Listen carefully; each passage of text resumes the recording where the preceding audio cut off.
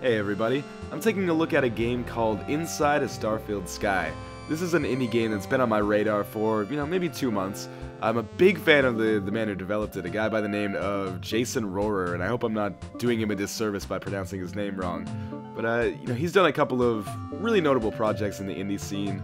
Uh, I guess most notably would be Passage, which he did maybe five or six years ago, which was a, an interesting kind of little art piece, as well as Sleep is Death, which came out last year, which was kind of like an interactive two-player storytelling simulator that was uh, really like a lot of fun and a completely novel concept that suffered from a community that sometimes was not all that robust.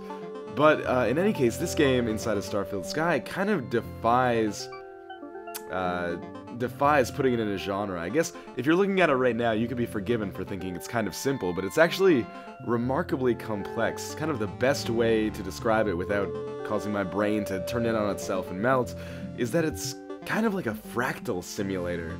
So we play as uh, maybe an organic or a mechanical being, and as you can see, we can go up levels, for lack of a better term. So the creature that we just were is inside the creature that we are now and essentially we can go up or down levels. And like, if I was this guy right now and I went up a level, I would become the creature that I'm currently inside. And if I went down a level, I would become a creature inside of the creature I am now, if that makes sense.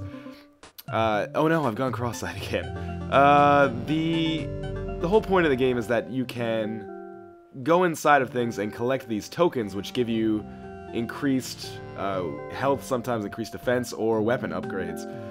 And uh, you can also go inside of enemies, and uh, if you've got an enemy that's a little bit too hard for you to face, you can collect some power-ups that are going to make it a lot worse, and thus make your job a lot easier. I apologize if my description of the game is confusing. Trust me, I am confused just playing it still at this point. Uh, this just came out last week, so I'm still still somewhat new, but I wanted to get the get the word out a little bit on this game because it's really shockingly novel, and I'm having a great time playing it. One thing that you learn a little bit later is that you can actually go inside of tokens as well. So we'll take a second to explain the token system here. Basically, whenever you take control of a new a new entity, you can pick up three tokens, and each of these tokens changes the properties, uh, like the weapon or defense properties, of the entity at the level above you. So you can see by going up there, uh, well maybe not that time, but a, a, bit later you'll see when I go up, I take on the properties of the tokens that I collected on my way, on, on the, the level just below it. Uh, but you can also, as I learned later, go inside of tokens. So you see all these tokens right now are basically level 1. You could go inside of a token, pick up tokens inside of that token to make the token even better. I'm kind of intentionally being confusing because I'm a little bit confused myself. But, you know, we'll, we'll see that when we come to it, and we will come to it a little bit later in this video. I really cannot recommend this game enough. I'll put, uh, and, and actually all of Jason Rohrer's games, uh, I'll put a link to the, uh, to the information about the game so you guys can pick up, uh, pick it up if you're so interested. It's a dollar seventy-five US. You're not gonna break the bank on this. I know people are gonna be pissed off that it's not free, but yeah, get over it. It's a buck seventy-five. Well worth it. So another thing I failed to mention, you can enter yourself, and by entering yourself, you can uh, change the self that you entered, as the game so mentioned. So I'm going to try to pick up some powers that are uh, that are going to be good for combining. I've got three of the same kind right now, three Heat Seekers. And then by exiting, although I, I kind of bunged it up a little bit there, by exiting I will gain those powers in myself when I come out. So my, my weapons will change a little bit. And here's where I, the game uh, kind of lost me. I mean that in a good way. Like my mind's being Christopher Nolan Inception blown all over my laptop right now.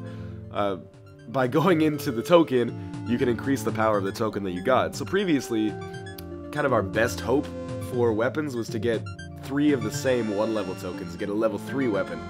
Now we could potentially get uh, level 4 weapons, and three of those, we could create three level 4 tokens, if you if you catch my drift or sorry, three level 3 tokens, and uh, pick those up. So we could potentially have something that's level 9. This doesn't necessarily make the game more difficult though, because uh, the difficulty also increases as you uh, as you pick up some of these tokens, and it increases for some of them more than others.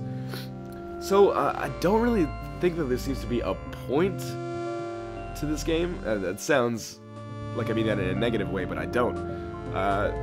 Uh, this is about the highest I've ever gotten in a game, up to like well, we're level eight now. We might see up to level level 11, 11 level 12 uh, by the end of it. I'm not sure if it ever ends, and uh, quite frankly, I kind of hope it it never ends. It just seems like a a good time, and you can easily get lost within the folds of your own mind as you're as you're playing this.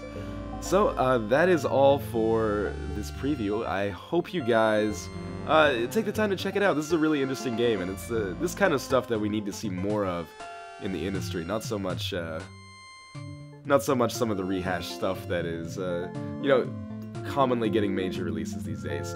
Support this game, pick it up. Trust me, you won't regret it. Anyway, thanks for watching, guys. See you later.